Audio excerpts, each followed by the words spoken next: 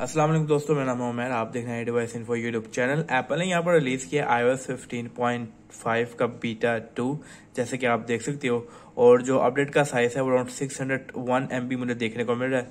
तो इतनी बड़ी अपडेट देखने को यहाँ पर नहीं मिल रही है। और ये दो हफ्तों के बाद रिलीज़ हुआ है। दो हफ़्ते पहले जो है वो बीटा वन रिलीज़ हुआ था।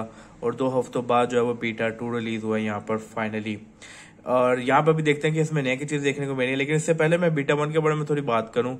तो बीटा वन में बैटरी लाइफ काफ़ी अच्छी दी है तो बैटरी लाइफ में ऐसा कोई भी इशू देखने को वहाँ पर नहीं था, मिला।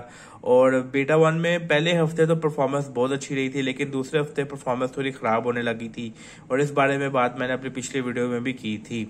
लेकिन यहाँ पर हमें यही एक्सपेक्ट कर रहा कि जो परफॉर्मेंस खराब हुई थी ना, वो बीटा टू में परफॉर्मेंस वो ठीक हो जाए, वो इश्यूज़ हमें यहाँ पर ना देखने को मिले। अगर मैं आपको यहाँ पर दोबारा दिखाऊँ, यहाँ पर सिंपली लिखा हुआ है This beta version of iOS 15.5 contains bug fixes and improvement यानी कि इसमें कोई भी हमें बड़ी चीज़ देखने को नहीं मिली कोई बड़ी चीज़ देखने को नहीं मिल रहा। ये जो है वो बग फिक्सेस और इम्प्रूवमेंट्स के रिलेटेड है।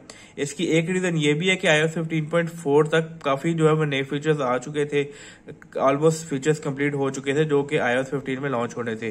तो अब जो है वो 15.5 में आने के बाद और 15.5 के बीटास के ऊपर आने के बाद जो है वो बग फिक्सेस और इम्प्रूवमेंट्स ही देखने को मिल रही है।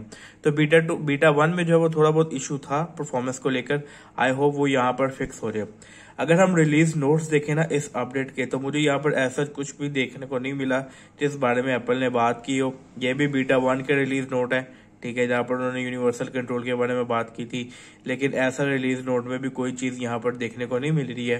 सिर्फ़ जो है वो अपडेट में यही लिखा हुआ है कि ये कंटेन्स कर रहे हैं बग फिक्सेस और इम्प्रूवमेंट्स डेफिनेटली डेफिनेटली मैं इसकी तो पूरी रिसर्च करूँगा, देखूँगा इसमें क्या चीज़ें नहीं है, क्या चीज़ें पुरानी है, क्या यू आई चेंजेस हैं या नहीं है?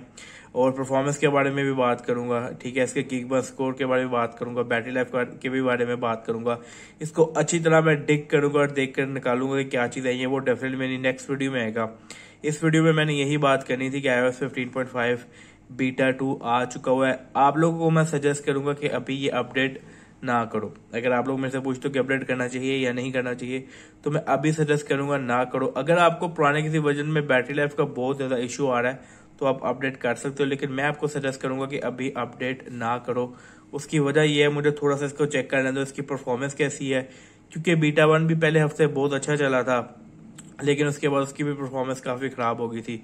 तो मुझे चेक कर लेने दो, उसकी परफॉर्मेंस कैसी है। परफॉर्मेंस में टेस्ट करूँगा इसको अच्छी तरह टेस्ट करूँगा। फिर उसके बाद आपको बताऊँगा कि इसको ऊपर आपने अपडेट करना है या नहीं अपडेट करना है। और बीटा थ्री आएगा बीटा फोर आएगा, इनके बारे में भी आने वाली वीडियोस में मैं डेफिनेटली बात करूँगा। तो बस यही है भाई, आज की न्यूज़ यही है। लेटेस्ट कि I fifteen point five beta two release हो चुका है। कोई भी बड़ा फीचर देखने को अभी तक यहाँ पर नहीं मिल रहा। है इंप्रूवमेंट्स है डेफिनेटली मैं इसके ऊपर सर्च करूँगा। फिर डिटेल वीडियो आपसे शेयर करूँगा। इस वीडियो में इतना ही। ख्याल रखिए अपना। तब तक के level office take care peace out